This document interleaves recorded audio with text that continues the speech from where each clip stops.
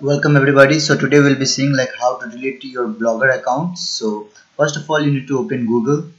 So now you need to click here. Now go to your blogger account or the blogger page. So you need to switch which blog you want to delete. Suppose i'm deleting this blog.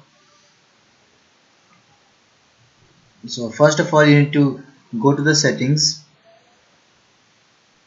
So now you need to go to like other this right here so now here you see like remove your blog. So delete blog and delete blog.